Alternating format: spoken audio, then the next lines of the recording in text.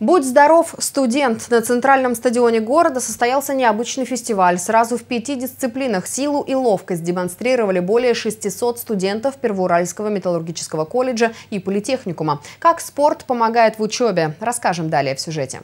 Как правильно размяться перед стометровкой, Елизавета Русинова знает как опытный спортсмен. Больше 10 лет девушка занималась фигурным катанием. Сегодня она вместе с однокурсниками пришла на спортивный фестиваль. Все хорошо, отлично. Настроение хорошее. Все ребята хотят участвовать. Все очень настроены на победу, на свои достижения. На стадионе более 600 студентов. Первокурсники Первоуральского металлургического колледжа и политехникума начинают учебный год с массовой зарядки. Таким способом преподаватели решили объединить студентов города, чтобы они сдружились и полюбили спорт. Спорт он всегда объединяет, он помогает узнать друг друга ближе, ведь сегодня не зря здесь собрались именно студенты первого курса. Самая главная задача – сдружить ребят между собой, сдружить их между студентами техникума и колледжа, для того, чтобы мы были все вместе. Шесть, семь, восемь. 9.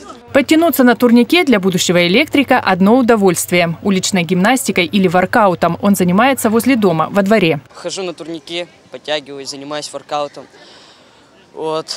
Также раньше ходил на хоккей, сейчас тоже занимаюсь иногда баскетболом. Спорт – это здоровье, это сила бодрость. Фестиваль «Будь здоров» проходит ежегодно. Для студентов это возможность подготовиться к сдаче норм ГТО. Ну, мы сегодня выявляем тех спортсменов, которых можно будет э, развивать далее на значки, выявляем тех спортсменов, которых нужно подтянуть по каким-то дисциплинам, чтобы они в течение года все выходили у нас на значки, и у каждого была своя книжка по ГТО. Не просто пробежать, но показать лучший результат сегодня хотят многие участники. Среди студентов немало и тех, кто занимается спортом профессионально. Хочу быть лучше всех для себя уже, что я смогла сдать почти все нормы, что я здоровая, крепкая, спортивная.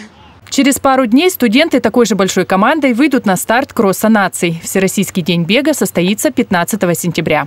Таисия Пономарева и Евгений Шилов. Новости Первоуральск.